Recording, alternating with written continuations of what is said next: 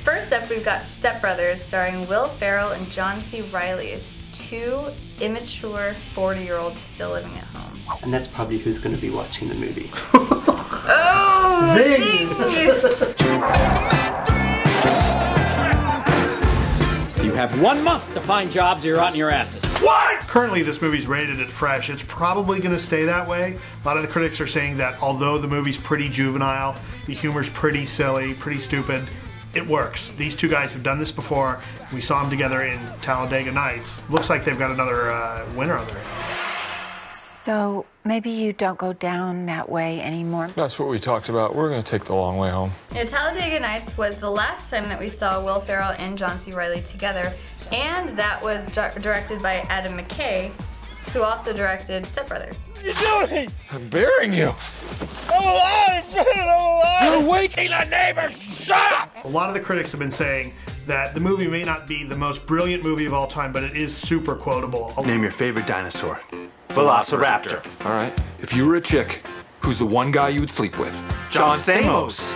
What? Did we just become best friends? Yep. Aren't you sick of Will Ferrell yet?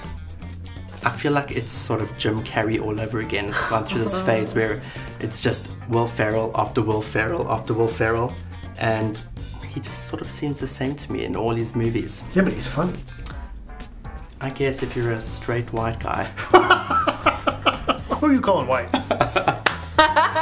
You're right, Will Ferrell's been doing the same kind of role over and over, and Over over and again. over. The emotionally handicapped, um, uh, arrested development man child.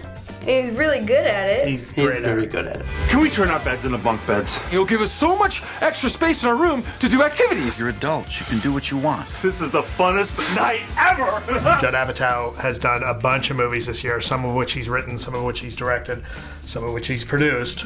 Looks like this is going to be another one that he's produced that's going to do really well. Just with like uh, a lot of other Judd Apatow movies that we've seen so far, um, which are sweet and vulgar at the same time. Um, it seems that Step Brothers has that Judd Apatow touch, which now I am beginning to think equals male genitalia front and center.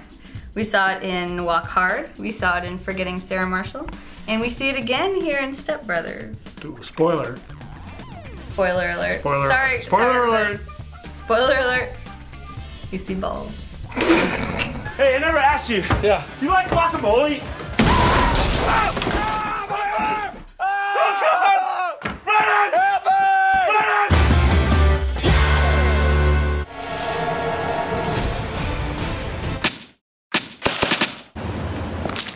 そうです。